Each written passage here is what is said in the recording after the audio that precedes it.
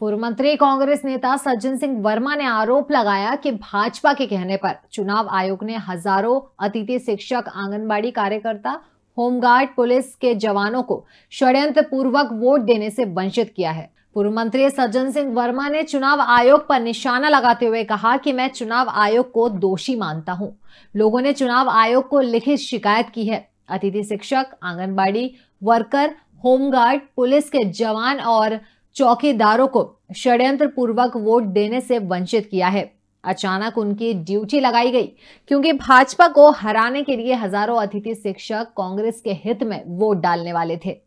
देखिए, मैं तो चुनाव आयोग को दोषी मानता हूँ। हम लोगों ने मध्य प्रदेश चुनाव आयोग को लिखित शिकायत दी खुद जाके हम लोगों ने हमारे जो विंग के चुनाव प्रक्रिया देखते हैं। धनोपिया जी, हम सारे लोग वरिष्ठ नेता प्रकाश जैन, राजीव सिंह, अशोक सिंह, हम सारे लोगों ने चुनाव आयोग को रिक्वेस्ट की है हमने कि आपने तमाम हज़ारों हज़ार अतिथि शिक्षकों के साथ आंगनवाड़ी होमगार्ड, पुलिस के जवान, चौकीदार, इनको षडयंत्र पूर्वक चुनाव आयोग ने वोट देने से वंचित किया है। चुनाव की संध्या को इनकी ड्यूटी लगाई गई अचानक। हज़ारों अतिथि शिक्षक, ये मेरा आरोप है कि बीजेपी सरकार के दबाव में, क्योंकि अतिथि शिक्षकों का वोट 100 परसेंट कांग्रेस को मिल रहा है।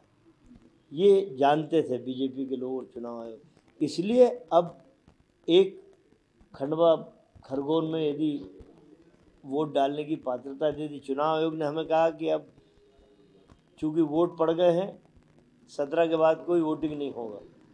जबकि दो तारीख तक, तीन को परिणाम आना, दो तारीख तक वोट डाले जा सकते हैं।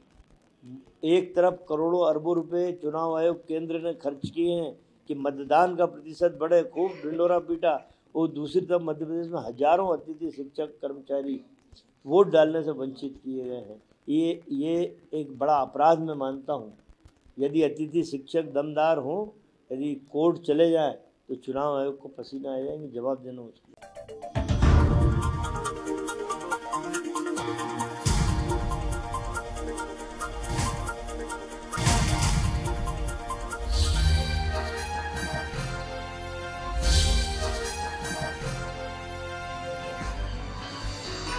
आप देख रहे हैं दखल न्यूज़।